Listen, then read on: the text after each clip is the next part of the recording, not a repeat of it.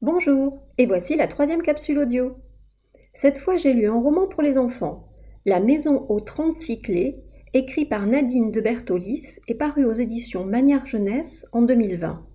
Là encore, c'est dingue, de drôles de bruits sont venus dans ma tête. Oui, des chants d'oiseaux et de nature. C'est normal puisque l'action se déroule à la campagne, à Chanteloube précisément. Vous connaissez C'est du côté de Lyon. Il y a là un manoir dont la maman de Dimitri et Tessa a hérité de la part d'un grand-oncle. Un peu excentrique, hein, le grand-oncle. Une sorte de croisement entre le professeur Tournesol et Sigmund Freud. Voyez le personnage un peu.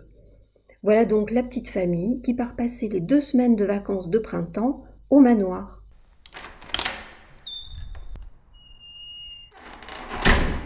Ah ben oui, c'est un vieux manoir, avec des pièces sur deux étages, et des portes à ouvrir, des serrures à décoincer, croyez-moi, il y en a.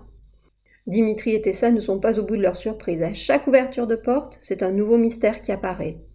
Mais quel était donc le métier de ce grand-oncle qui avait un laboratoire dans le grenier et de drôles de machines dans chaque chambre, comme des sortes d'alambics? Et toutes ces photographies avec tous ces gens, des jeunes, des vieux, que ni Dimitri ni Tessa ne connaissent. Qui sont-ils? Et pourquoi la maman de nos deux jeunes détectives est-elle si évasive lorsqu'ils posent des questions? Hum Ça sent le secret de famille, tout ça. Je ne sais pas ce que vous avez prévu pour les prochaines vacances de printemps, peut-être une petite virée à la campagne, et sinon, pourquoi pas une virée à la bibliothèque de Carignan de Bordeaux pour emprunter ce chouette roman et savoir ce que cache la maison aux 36 clés? À bientôt! Et n'oubliez pas de fermer la porte en partant.